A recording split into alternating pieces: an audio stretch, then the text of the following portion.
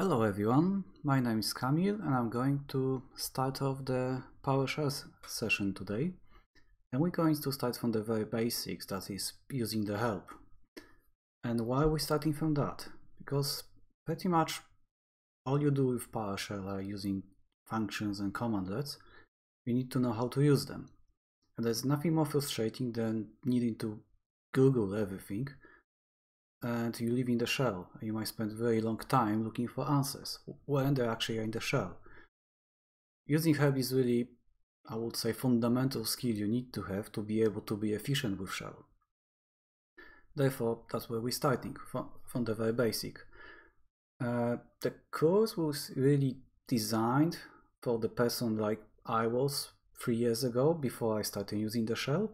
That is with somebody who is an IT pro but never really code, never really coded before. Therefore, I'll be keeping that in mind, and I believe I will help you to start from being a person who doesn't really work in CLI to start actually feeling more comfortable about that and be able using as daily driver. We will be focusing on shell. I might at some point at the very latest stage put some scripts, but that won't be my aim. My aim will be to for you to be very, pretty much master shell as much as we can, because the more you can master it, creating scripts from that point is much easier. So let's start. So I would very strongly encourage you to follow me along because there's nothing like practice and again, I will emphasize that if you never coded before and you are not very used to using CLI, there is nothing like practice that can actually put you up front. And what we need, we really need PowerShell.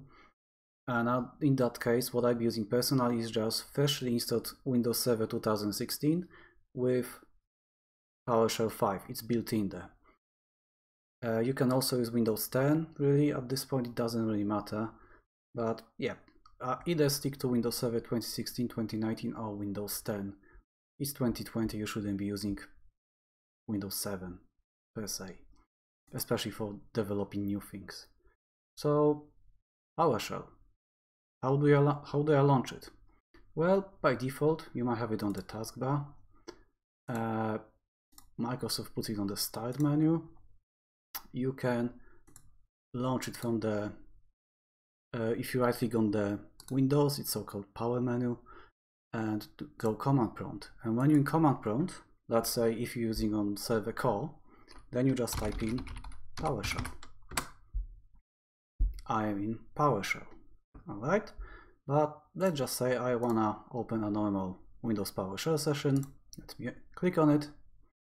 And once I'm here, uh, let's see. Let's see what version of PowerShell I, run, because I told you I'm going to use Power version, PowerShell version 5. So let's try PS version table, dollar sign PS version table, enter. So we can see this is PS version 5.1. This is the latest Windows PowerShell version that was released. Okay then, so help. How do you ask for help?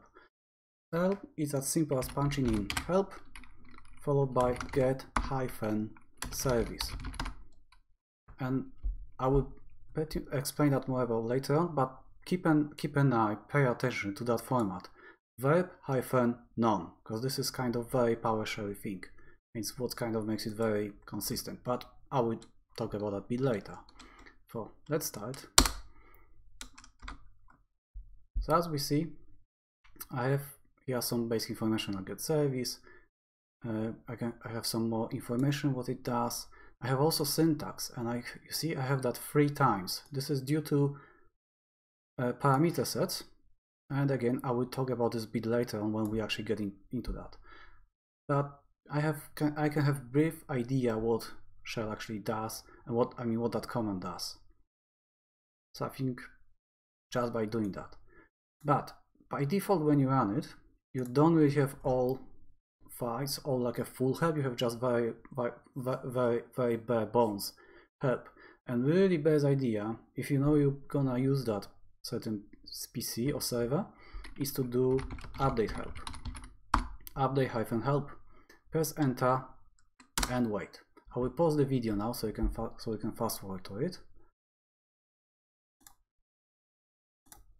Okay, it's finished and it throw an error. Pretty much that red text usually doesn't mean anything good and so is in that case that means error.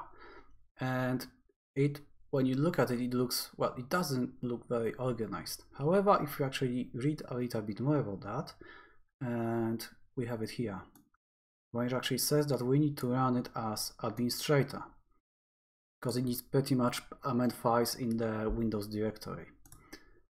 Uh, or C program files, somewhere there. Okay then, so let's do that, because we really want to have a full-blown help system. So I'm gonna right click on PowerShell and go run administrator and yes. Okay we have first session and I'm going to issue now update help. Once again and let me pause it now. Okay it's finished and we have way less issues that um, and since I remember that was always throwing an error so it's well nothing new say anyways if we issue now help get hyphen service and we can actually add a little parameter called full. You can switch parameters like that by pressing tab. So let's say if I just have a hyphen and I just press tab, it will take me through all possible parameters. A nice little feature about shell. Okay, so I want a whole full view what's available there. Let's have a look. Oh, I mistyped that. Yeah, my fault. Uh, help get service hyphen full. There we go. So this will give you a very comprehensive list of what's actually available. So we got same details like before, but we have, for example, uh, the description. So actually we can just read about that description, what's going on here. And we have also description of all parameters, what they do, what variables they need, and etc. I will, you see there's out of brackets here and there. I will explain that them to you in the next session because this is kind of art in its own. And I rather focus on that because that's what we save you plenty of time. And how we navigate that? We just simply press spacebar. So when you press spacebar, it will just cycle a whole page uh, another nice thing, well, we don't really need to focus on that one, but also us what actually the command can uh, take, what what uh, what what will be output. Uh, we can also have some sort of notes if there's something interesting to us, and probably one of the most uh, search for features examples. So actually, how do I run this command to get specific results? So I very often just start with that. I know the command I want to use and I just use samples, examples. Uh, so I know what, how to use it. Okay, cool. Uh, so let's leave this one. On the next one we have, just looking, so let's clear that screen. So I'll just punch in clear.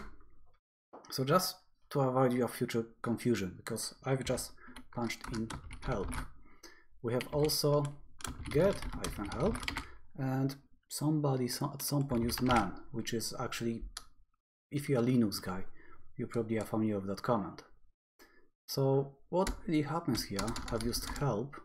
Help is an alias to get help, so, which then punches it, uh, sorry, pipes that to more. So let's see the behavior. So when I do help get service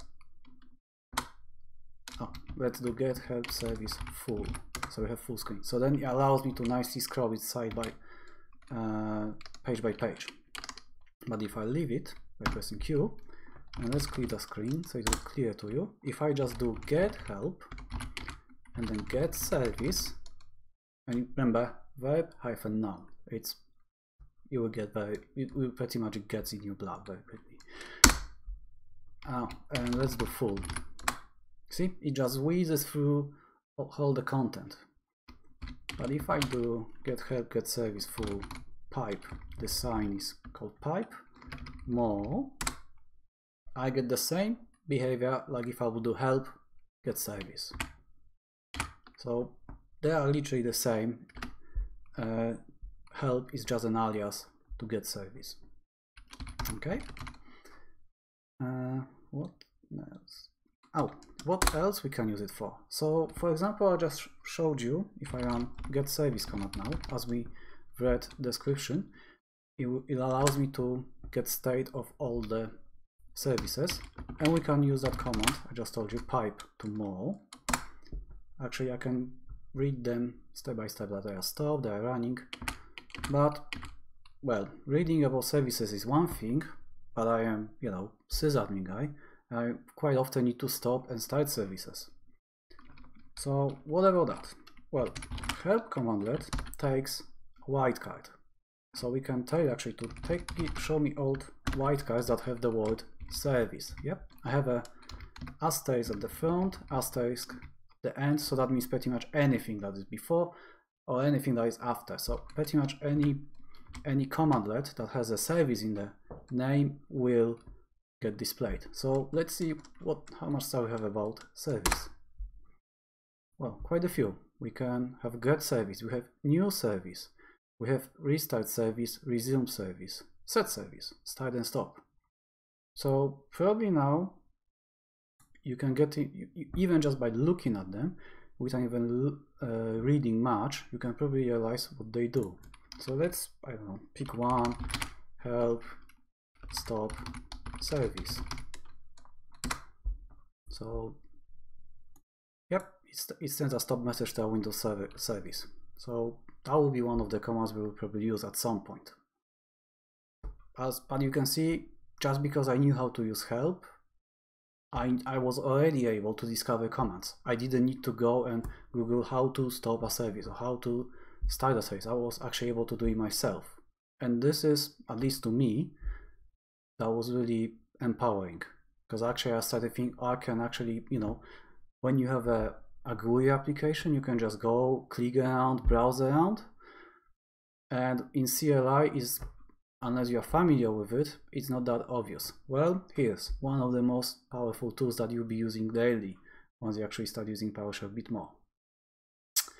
Okay, and now as the end of the session, because you probably will be, well, very much interested what else you can do how much you can discover PowerShell, there's quite a few things.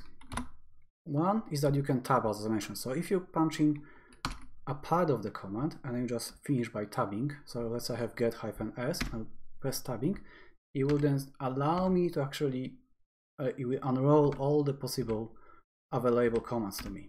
So if I press tab, they go forward. If I do together shift and tab, it will go backwards.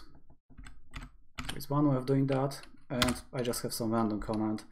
And if I go a parameter and I do tab, the same, you will show me them. But there's even better way. If let's say I have the same sample, get hyphen s, and if I do control space, it will allow me, you see, all available that start with get hyphen s commands, and that will allow me to pick any of them. And once I have something I'm after, let's say get smb share, spacebar, it's picked. So I don't even need to tap for it, I don't need to search for it. I just know there was something starting with that particular string of text. Same for parameters. Boom, I have all parameters available. Add hat, very easy, very nice, very quick. Okay, so I think that should be it for now. Uh, using any sort of help commandlets is absolutely safe so you can browse them. Uh, get commandlets are safe. I think I don't see any broken. Uh, I mean dangerous get commandlet.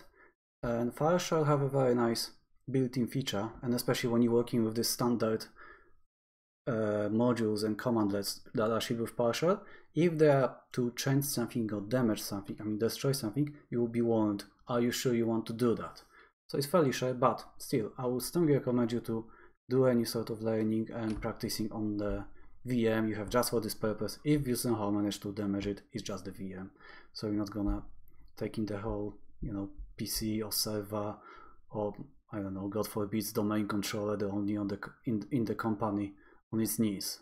Because well, we heard we all heard some stories from the IT world. Nevertheless, let's sum up. Uh, what is it? Okay, so what we did today, we learned about the help commandlet, so how to how to get how to pretty much ask for help and how to learn how any sort of commandlet works. We did discover PS version table variable. This is default PowerShell variable and that tells us what version of PowerShell you run. So when you are in doubt that you're actually on the version you want, you can call that one and you'll know. For example, Windows Server Server 2008 R2 comes with PowerShell version 2 by default.